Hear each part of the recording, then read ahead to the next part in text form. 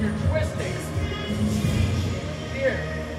So it goes from this position to this position. So feet face the same direction. Yeah. So what's going to happen is this claw comes up, stretches this way. This goes down this way. Now it's not down here, it's here. And your boy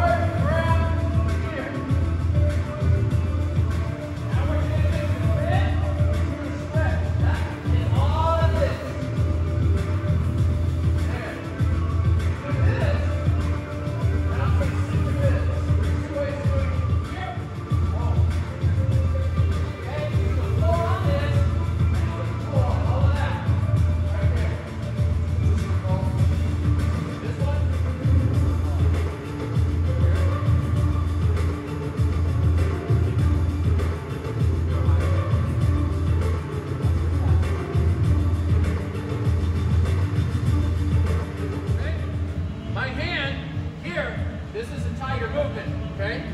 So my hands are always, I'm gonna be here, I'm gonna have my shoulder rotate, because I'm here.